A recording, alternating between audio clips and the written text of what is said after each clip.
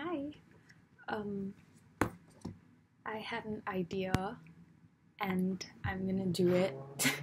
I got my hair looks crazy because I tied it out just now, but yikes. Okay, anyway, um, you don't have to watch this video because I don't know how interesting it will be. Just in terms of like, yeah, it's probably gonna be quite long, but I have been wanting to read something that is not for class and something that will make me slow down, but something that I haven't read before, like something that will make me think. And this has been sitting on my shelf since I got here, and it's like a Mr. Chia gave this to me, and I think I have been thinking a lot about like going home, staying here, how I've been feeling, and I feel like this would be meditative, meditative, meditative, and I want to do it, but this is taking too long. Um, but I feel like if I didn't do it with somebody, even if the person is like the internet void because I don't know if you're gonna watch this because I don't know if it'll be interesting to you, but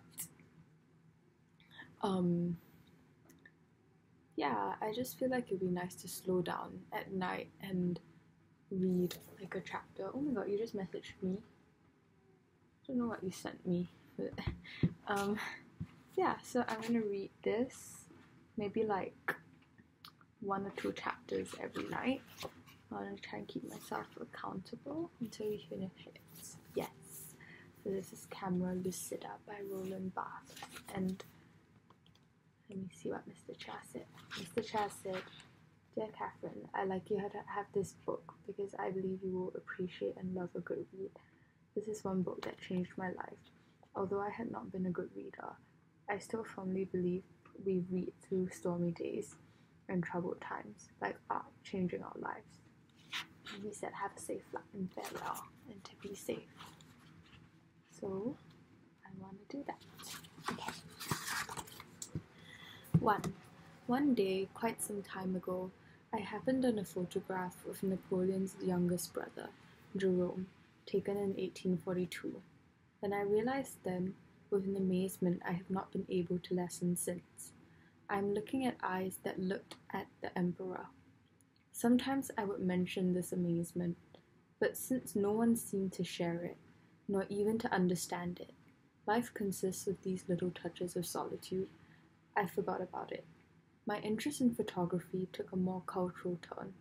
I decided I liked photography in opposition to the cinema, from which I nonetheless failed to separate it. This question grew insistent. I was overcome by an ontological desire. I wanted to learn at all costs what photography was in itself, by what essential feature it was to be distinguished from the community of images. Such a desire really meant that beyond the evidence provided by technology and usage, and despite its tremendous contemporary expansion, I wasn't sure that photography existed, that it had a genius of its own. 2. Who could help me? From the first step, that of classification, we must surely classify, verify by examples, if we want to constitute a corpus. Photography evades us. The various distributions we impose upon it are in fact either empirical, professionals, amateurs, or, or rhetorical, landscapes, objects, portraits, nudes, or else aesthetic, realism, pictorialism in any case external to the object, without relation to its essence, which can only be, if it exists at all, the new of which it has been the advent. For these classifications might very well be applied to other, older forms of representation. We might say that photography is unclassifiable. Then I wondered what the source of this disorder might be.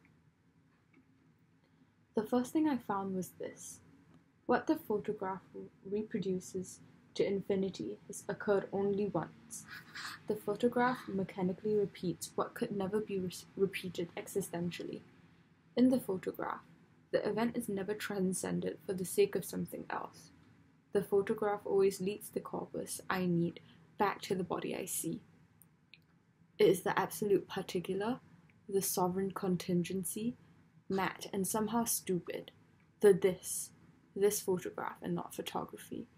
In short, what Lacan calls the touche, the occasion, the encounter, the real, in its indefatigable expression. In order to designate reality, Buddhism says sunya, the void, but better, better still, tathata, as Alan Watts has it, the fact of being this, of being thus, of being so. Tat means that in Sanskrit and suggests the gesture of the child pointing his finger at something and saying that. There it is, lo. But says something, nothing else. A photograph cannot be transformed, spoken philosophically. It is wholly ball- ballasted by the contingency of which it is the weightless, transparent envelope. Show your photographs to someone. He will immediately show you his. Look, this is my brother. This is me as a child, etc. The photograph is never anything but an antiphon of look, see, here it is. It points a finger at certain vis a vis and cannot escape this pure deictic language. This is why, insofar as it is licit to speak of a photograph, it seemed to me just as improbable to speak of the photograph. A specific photograph, in effect, is never distinguished from its referent, from what it represents, or at least it is not immediately or generally distinguished from its referent, as is the case for every other image, encumbered from the start, and because of its status, by the way in which the object is simulated. It is not possible to perceive the photographic signifier. Certain professionals do so, but it requires a secondary action of knowledge or of reflection. By nature, the photograph, for convenience sake, let us accept this universal, which for the moment refers only to the tireless repetition of contingency, has something tautological about it. A pipe. Here is always and intractably a pipe. It is as if the photograph always carries its referent with itself, both affected by the same amorous or funereal immobility at the very heart of the moving world. They are glued together limb by limb, like the condemned man and the corpse in certain tortures, or even like those pairs of fish, sharks, I think, according to Michelet, which navigate in convoy as though united by an external coitus. The photograph belongs to that class of laminated objects whose two leaves cannot be separated without destroying them both the window pane and the landscape, and why not, good and evil, desire in its object. Dualities we can conceive but not perceive. I didn't yet know that the stubbornness of the referent in always being there would produce the essence I was looking for.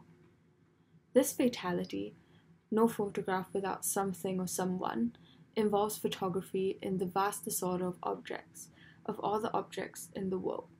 This moment, oh, why choose, why photograph this object, this moment, rather than some other?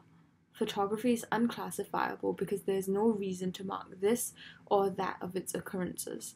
It aspires, perhaps, to become as crude, as certain, as noble as a sign, which would afford it access to the dignity of a language.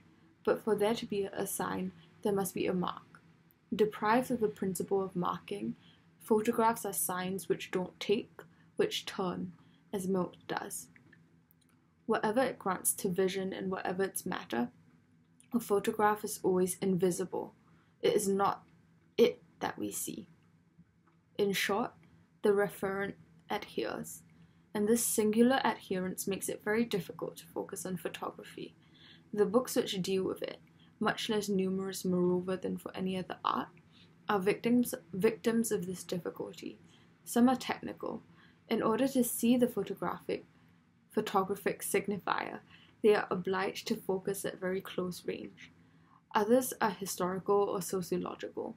In order to observe the total phenomenon of the photograph, these are obliged to focus at a great distance. I realized with irritation that none discussed precisely the photographs which interest me,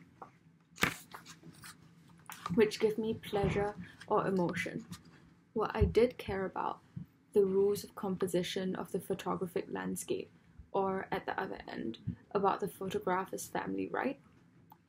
Each time, oh, I read that wrong. What did I care about the rules of composition of the photogra- photo- photographic landscape, or at the other end, about the photographer's family rite? Each time I would read something about photography, I would think of some photograph I loved, and this made me furious. Myself, I saw only the referent, the, the, the desired object, the beloved body, but an inopportune voice, the voice of knowledge, of science, then adjured me in a severe tone. Get back to photography. What you are seeing here and what makes you suffer belongs to the category amateur photographs, dealt with by a team of sociologists nothing but the trace of a social protocol of integration, intended to reassert the family, etc. Yet I persisted. Another louder voice urged me to dismiss such sociological commentary. Looking at certain photographs, I wanted to be a primitive without culture. So I went on, not daring to reduce the world's countless photographs any more than to extend several of mine to photography. In short, I found myself at an impasse, and so to speak, scientifically alone and disarmed.